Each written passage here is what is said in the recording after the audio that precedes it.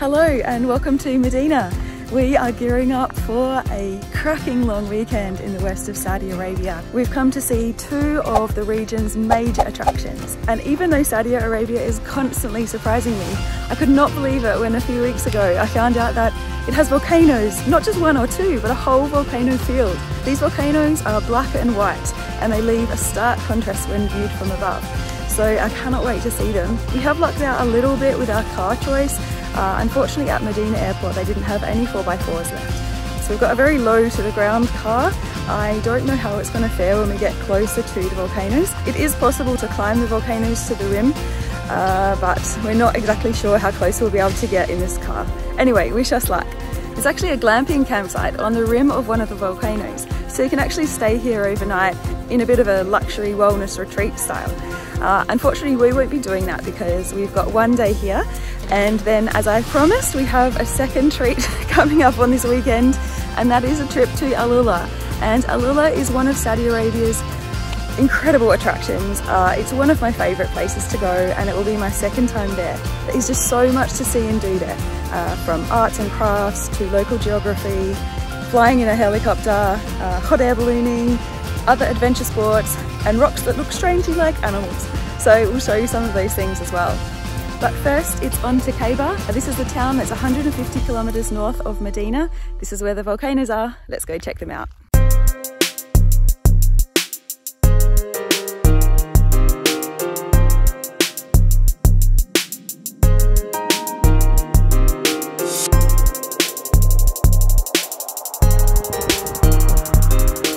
We've just stopped on the side of the road now. We're getting really close to the Khaybar volcanoes. We can see them in the distance. There's a beautiful silhouette under the morning sun. It's January here in Saudi Arabia and it's quite cool this morning, which is a really pleasant change from the summer. The rocks here are pitch black and this is all the old volcanic lava.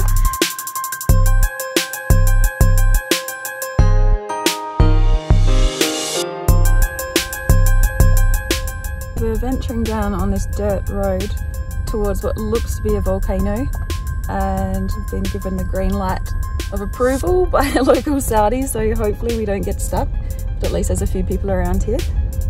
And this is on the way to the Khaybar volcano camp.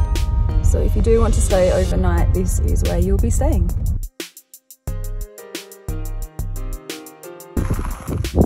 Wow that is so sharp and super shiny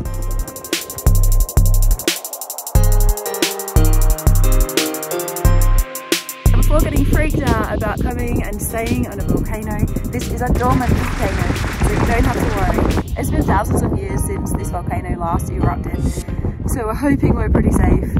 Let's find out.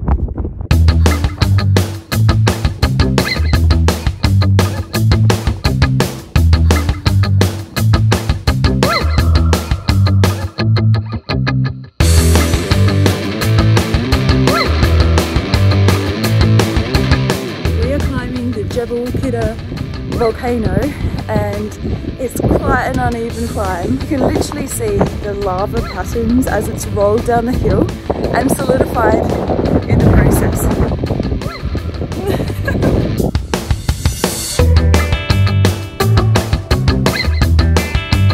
Here we are at Al Kidda volcano in Khaybar region, Saudi Arabia and we are attempting to climb to the very top to the crater here. Apparently the views at the top are spectacular and you can see across the whole volcano field, including the white volcano that's very close by.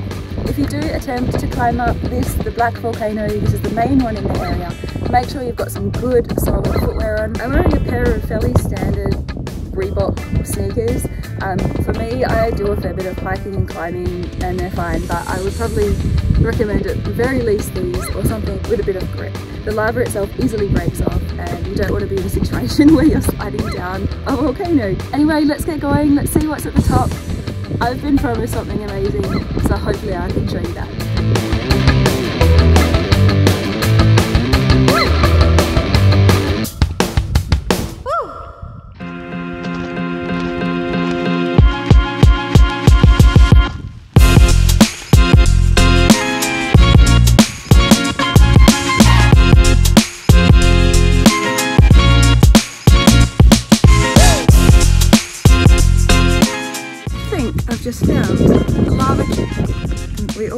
Walking along um, this rim because it looked easier than the other spots, but I'm pretty certain I would have put my foot right through it because it's hollow.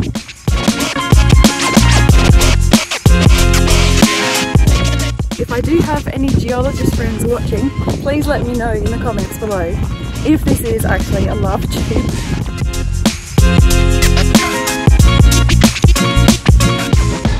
I thought that lava tube was big, but check this out. We found an entire cave, which is a bit disconcerting because we're just walking across this and at any minute could fall through. How's the landscape for photography?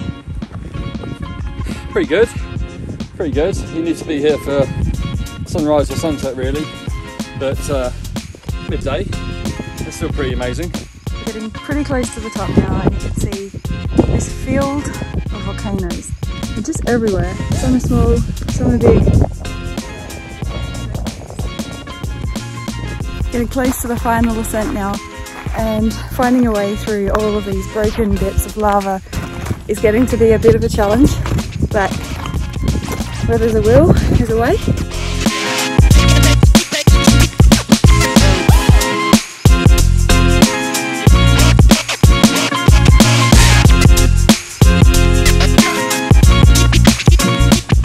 I'm putting my camera away for the rest of this trip up because this surface is so uneven and just keeps slipping away beneath our feet. So for safety, I'll see you at the top.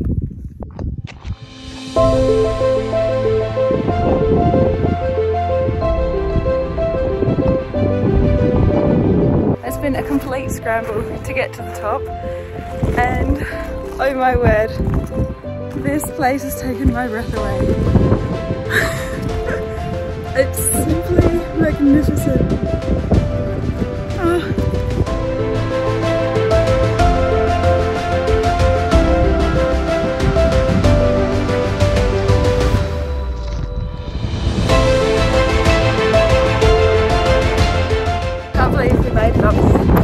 Incredible. The thing about Saudi Arabia is that it's so fresh to tourism that there's really not a lot of consideration yet for what there's not a lot of safety signage or pathways to make things easier and the pathway to the top here is a bit of a challenge so just keep that in mind if you do decide to trek to the top.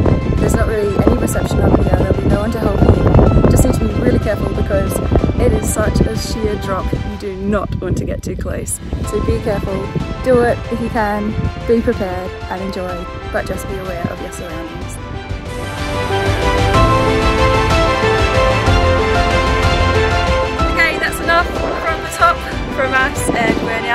Trekking back down. Hopefully won't take as long as it did to come up. We literally just slid down this pathway